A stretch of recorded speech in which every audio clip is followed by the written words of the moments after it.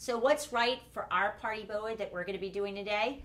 Well, I've decided on a turkey feather boa, and I've decided on this is a 40 gram.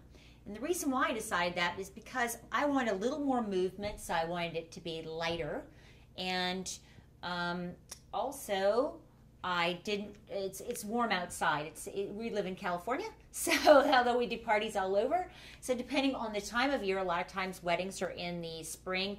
Uh, they they are very heavy. It's like wearing a, a comforter around your neck. So um, you want to go with something lighter if it is warmer outside. Uh, so I've also chosen white. I've chosen white because it's the bride's color and we're going to accessorize that with different colors that pull in the colors of the party. So I've decided on a white. Uh, you might have all the guests also have boas and they can have different colors if you'd like. But uh, we're going to go with white. And also the size. Now, for picking out the size, they usually come in six feet long. But again, about three feet is a good size because you don't want to loop the bow around. You just want it to lay right in the right section here.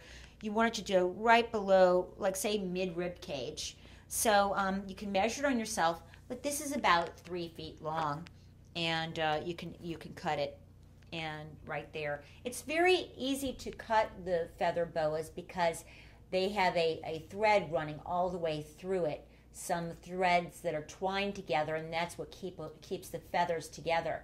So you can cut it any place and just shake off a few little extra feathers. It won't ravel. It's uh, fine to cut it, not a problem. And that's what we'll be using for our party boa.